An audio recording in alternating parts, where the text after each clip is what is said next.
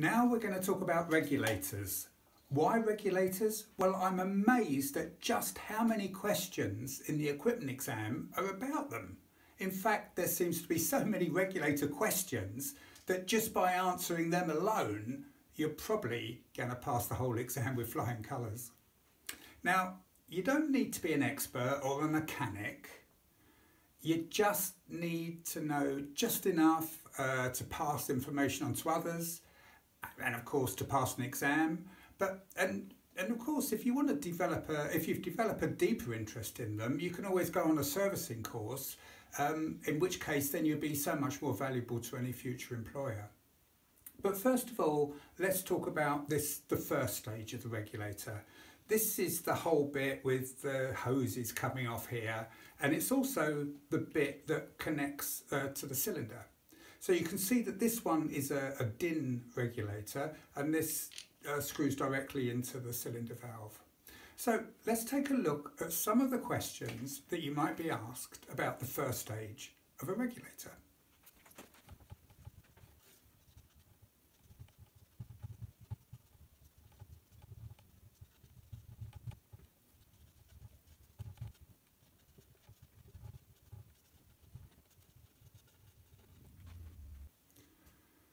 We've already talked about that the fact that the DIN valve screws um, right into the cylinder valve. Now this might there might be a question regarding why this might be a good idea.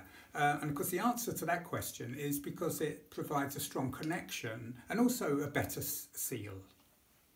Okay, so the real job of the first stage is to bring the high pressure cylinder pressure right down to the intermediate pressure, uh, which is in these hoses. Now generally the intermediate pressure here is around 7 to 10 bar above surrounding pressure.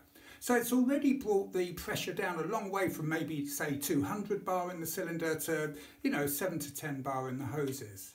But how does it do this? Well, inside this first stage there's either a diaphragm or a piston that adjusts according to pressure changes. It's a common question, but be careful because as soon as people see that word diaphragm, they often just associate it with the second stage and jump to the wrong conclusions, get the wrong answer. But this is about the diaphragm or the piston that's in the first stage. Now, to help prevent problems with that diaphragm or the piston with uh, doing its job correctly, some regulators are fitted with an environmental seal. Now this environmental seal, it prevents contaminants from getting into the works and it also helps protect against freezing. Um, it it, it uh, prevents it from freezing up in cold water, which makes the regulator go into free flow. Now we can move on to the second stage and look at some of the questions that you might be asked about the second stage.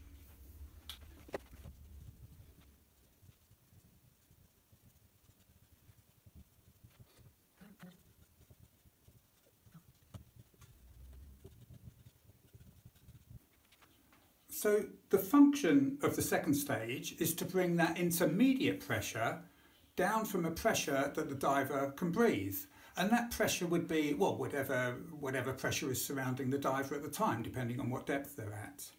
But how does this work? Well, as you breathe in, it sucks in that big diaphragm towards you. And this pushes a lever which opens a downstream valve. It's often aided by a pilot valve. Now both the downstream valve and the pilot valve are to be found here in the second stage.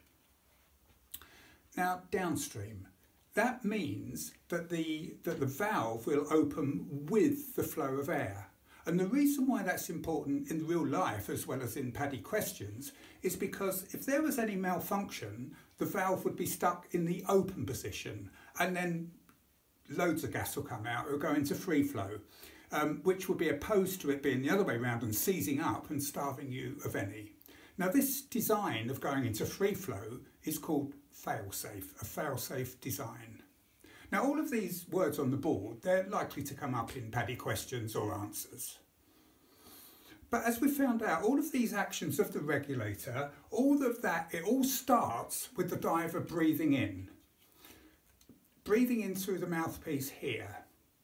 Now, when the diver does breathe in, they should only get dry gas. If there's any water that gets in their mouth, it's very likely that there's a split somewhere in this mouthpiece, or these lugs have broken off, one, one, one, one or the other. Now, I keep using the word gas instead of air. And the reason is because nearly all equipment is designed to be used to um, up to 40% enriched air nitrox without any modification. Anything higher than 40% could create problems with oxidation and that would need special equipment. Now once the diver has breathed in, all of this takes place, and then when the diver then breathes out, all of the, all of the exhaust gas comes out of these valves and into the water. Now it's the action of this expelled air bubbling away that gives the system the name open circuit. And that's opposed to a closed circuit rebreather that recycles the waste breath. Now it's interesting to note that divers using open circuit, they normally use breath control to fine tune their buoyancy. But closed circuit rebreather divers, they, they have to use their BCD inflation to, to, uh, to fine tune their buoyancy. Now, of course, one of the benefits of closed circuit is that the ratio of gases in the breathing mix remains constant. It remains the same throughout the whole dive. Sometimes there's questions about a balanced regulator. Now the question normally asks what are the benefits of a balanced regulator? I mean as opposed to a non-balanced regulator. And there's always three benefits and they're all to do with the ease of breathing. A balanced regulator will be easier to breathe regardless of the cylinder pressure. So if it's easy to breathe when the cylinder's full, it'll be just as easy to breathe if it's nearly empty. The same with depth. If it's easy to breathe when you're near the surface, then it'll be just as easy at 30 metres or 100 feet. And the last and third uh, benefit is to do with the alternate air source.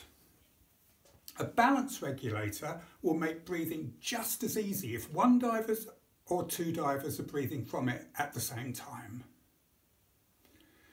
Talking of alternate air sources, there are a couple of questions that sometimes trip people up. What you need to remember is that alternate air sources don't uh, alternate air sources don't have to be yellow. They can be any colour. They don't have to come over the right hand side. The only important thing about alternate air sources is they do have to be found in the triangle. In fact, some alternate air sources are combined with a diver's BCD inflator hose.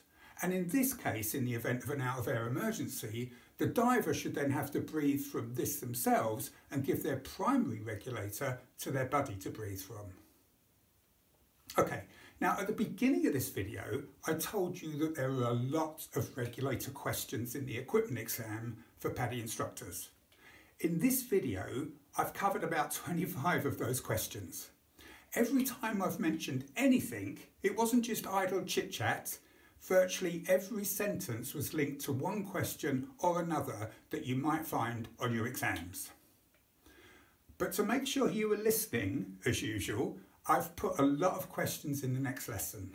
So good luck with those, and I look forward to seeing you again in the next video lesson.